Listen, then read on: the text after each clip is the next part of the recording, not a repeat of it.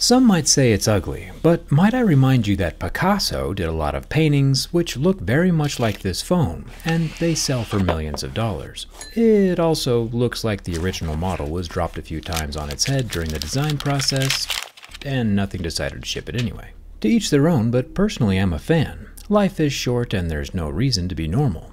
Inside the box, there is an extremely interesting new card from the European Union that tells us how energy efficient the phone is. Nothing got an A rating for efficiency, with additional info on how long the battery lasts and how repairable and durable the smartphone is. Apparently this Nothing Phone 3 got a C on repairability.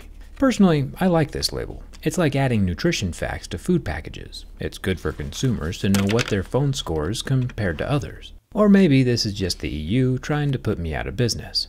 The trippiest new addition to this Nothing Phone 3 is the glyph matrix in the upper right corner. I won't dive into too much detail, but it can tell time, display battery levels, and play little games with you like rock, paper, scissors. We'll see how it all works from the inside if the Nothing 3 snaps in half. One thing the EU testing card mentioned is that this Nothing 3 scratches at a level 5 on Mohs scale of hardness, which is interesting, since as we know, and as we've seen on every screen that isn't plastic or sapphire, tempered glass nearly always scratches at a level 6 with deeper grooves at a level 7. This Nothing Phone 3 is using Gorilla Glass 7i and very clearly scratches right where it's supposed to.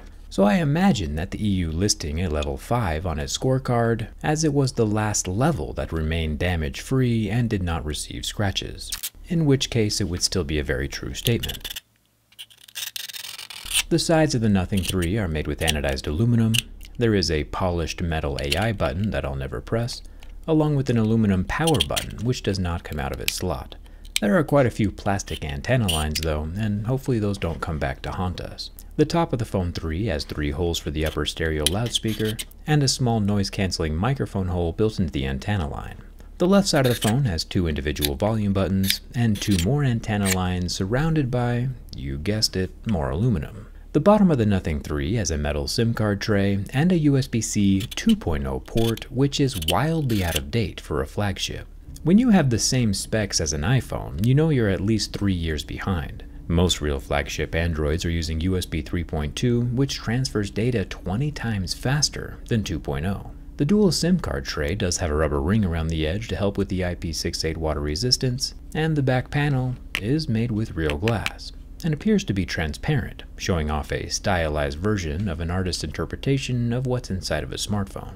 The upper off-center and out-of-place camera lens is a 3x 50 megapixel periscope telephoto, protected with a glass lens. Not directly below that first lens, we have the 50 megapixel main camera, and directly to the right of that, we have the 50 megapixel ultra wide, also protected with glass. But not directly above that camera, we have the circular glyph matrix, which is under the glass panel and does not protrude up with the three main camera rings. The three main camera rings stick up just about as far as any mainstream camera bumps, so calling this panel flat would indeed be incorrect. If you really want a completely flat back panel, you should check out Red Magic. I do like the red recording light, it's almost old school enough to match Picasso's vibe. Luckily for nothing though, the rear camera lenses do appear to be permanently attached to the rear glass. There's no gap and they do not come off like we saw on Samsung's recent phone. Flipping our way around to the screen, we see a 1 billion color 6.6 inch 120Hz OLED a display that lasts for about 20 seconds under the heat from my lighter.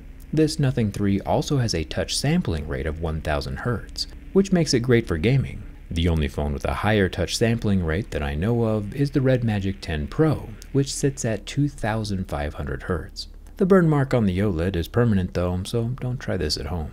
With nothing calling this its first true flagship, there is a bit more awkwardness if it were to snap in half.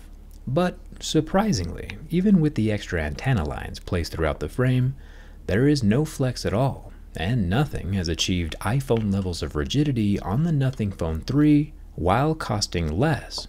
The Nothing Phone 3 definitely survives my durability test and like 799 bucks is still a hefty bag of coin. But to be honest, it's not nearly as hefty as monthly smartphone plans themselves have become. They've sneaked right on up past 100 bucks a month for the average American, and I feel like more people should be talking about that. especially because for as little as 5 bucks a month, you can get a phone plan with my channel sponsor Tello and still get to keep your same phone. I'll explain how it works as I try not to break the glass.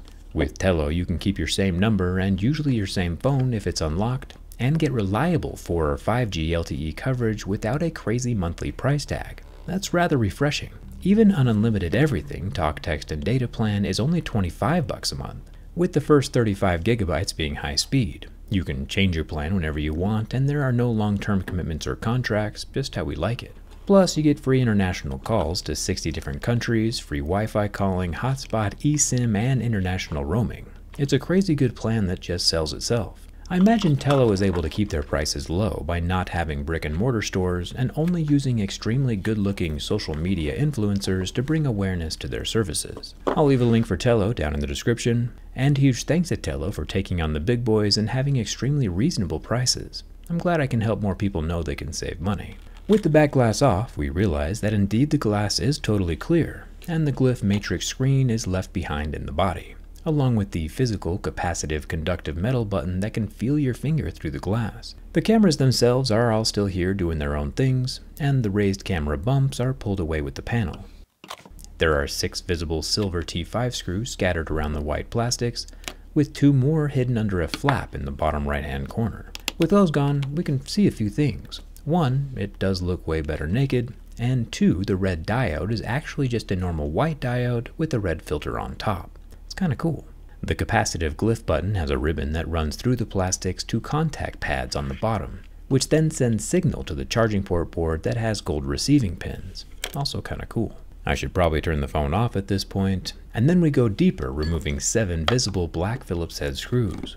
The very last screw is a very tricky little guy hidden under the flash diffuser, where the glyph matrix screen is also plugged in. The glyph matrix screen is coin-sized with 489 individual pixels. Curiously, the rear wireless charging pad does not have its copper coils coiling in symmetrical circles.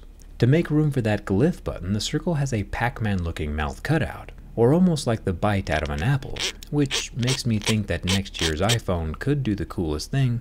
They won't, obviously, but at least now we know wireless charging pads don't have to be perfect circles to generate an electromagnetic field. It looks like Nothing's battery can come out easy enough. Thumbs up for that. I'll pop off the two charging plugs at the top, just like little Legos, and then pull the single plastic strip, releasing the 5150 mAh battery. Rumor has it that India gets a special version of the Nothing 3 with an even larger battery inside, so congrats for that. Under the battery, we see a rather large copper vapor chamber that continues upward under the motherboard. At first glance, the lower loudspeaker is kinda small, I'll remove three more screws and pull out the charging port board. This guy can charge up at a very impressive 65 watts. It has a red rubber ring for the waterproofing, and nothing says they've tested the durability of this port to 30,000 insertions. That's like once a day for 82 years, which is longer than the average human lifespan or the average age of US politicians. You can pick your own analogy since both are similarly depressing. Speaking of depressing, this loudspeaker has more balls than anyone in Washington. They should release the Epstein list. Down here at the bottom of the phone, we have our square haptic vibrator, the waterproofing mesh over the loudspeaker opening, and the tiny optical fingerprint scanning underscreen camera. Moving our way up to the motherboard, there is one more cleverly camouflaged black Phillips head screw in the upper right side. After that though, the whole thing can lift up and out of the frame. The motherboard does indeed have a clean rectangular cutout for the 50 megapixel telephoto periscope camera. The main 50 megapixel camera does have optical image stabilization, but the wide angle does not have any OIS, which is normal. The periscope camera does have internal optical image stabilization, but we'll let it survive this time around. The motherboard has a squiggle of thermal paste on the back of that Snapdragon 8S Gen 4, and we also get a look at the 50 megapixel front-facing camera. The whole thing, of course, is able to transfer its processing heat through the thermal paste to the large vapor chamber, and then both to the frame of the phone and out through the front of the screen. The upper earpiece doubles as a loudspeaker, which does also indeed have balls of its own, and now we cross all of our fingers and hope he's still alive. Fun fact, nothing says they are using 100% recycled tin, 80% recycled steel, and 100% recycled aluminum in the frame of the phone. They also used 100% renewable energy during the final assembly process, which is cool of them. I also have solar panels on my house, so technically this teardown is also done with 100% renewable energy. And look at that, everything still works. Honestly, I like what Nothing is doing, and I think next time they should put the cameras into the charging port board to really mess with the haters. If you want to save money on your own smartphone plan, check out Tello in the description. And thanks a ton for watching. I'll see you around.